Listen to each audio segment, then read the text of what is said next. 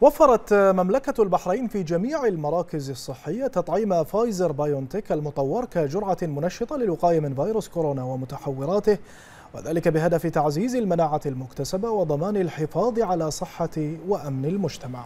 وقد دعت وزارة الصحة منذ لحظة توفر التطعيم الفئات المؤهلة لأخذ التطعيم المطور كجرعة منشطة حيث شهدت المراكز الصحية إقبالا لافتا والتي تعكس التزام المجتمع ككل بكافة الإجراءات التي ستؤمن الحماية الأفضل. التفاصيل في التقرير التالي. في إطار المساعي الوطنية الحثيثة الرامية لتعزيز المناعة المجتمعية يواصل المواطنون والمقيمون وخاصة من يعانون من أمراض نقص المناعة الإقبال على تلقي تطعيم فايزر بيونتك المطور كجرعة منشطة للوقاية من فيروس كورونا ومتحوراته لما لها من دور في توفير الحماية من الفيروس ومضاعفاته إلى جانب تنشيط مناعة الأفراد وضمان الصحة العامة للجميع.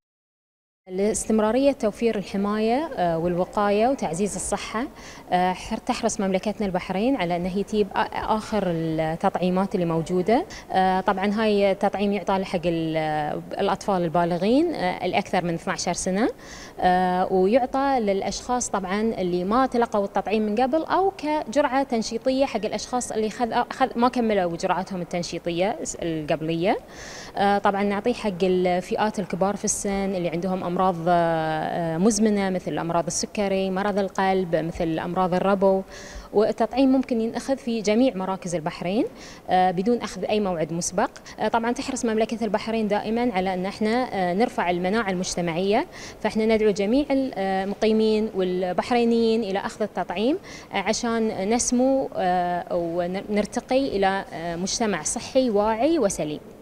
هذا الإقبال في جميع المراكز الصحية يؤكد حرص أبناء المجتمع ككل في الحفاظ على مجتمع صحي والتأكيد على وقوفهم وتكاتفهم مع فريق البحرين لتحقيق الأهداف الصحية المنشودة.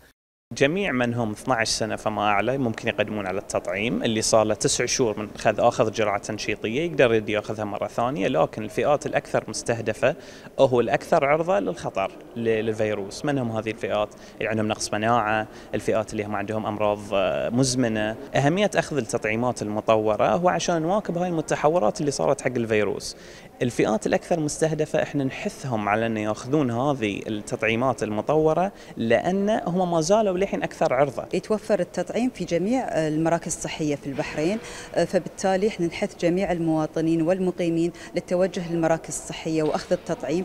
بالتالي آه، للحماية من متحورات كورونا الجديدة. هناك إقبال آه، من المواطنين والمقيمين على آه، أخذ التطعيم. لما للتطعيم من فوائد للشخص وكذلك أسرته والمجتمع بشكل عام. حرصت مملكة البحرين منذ ظهور أول حالة إصابة بكوفيد 19 قبل عامين ونصف تقريبا على تحصين جميع أبناء المجتمع وتقديم كافة الرعاية والعلاج والتوعية من أجل كبح انتشار الجائحة العالمية والحفاظ على المجتمع ليكون آمنا وخاليا من الأوبئة. طلال نايف لمركز الأخبار تلفزيون البحرين.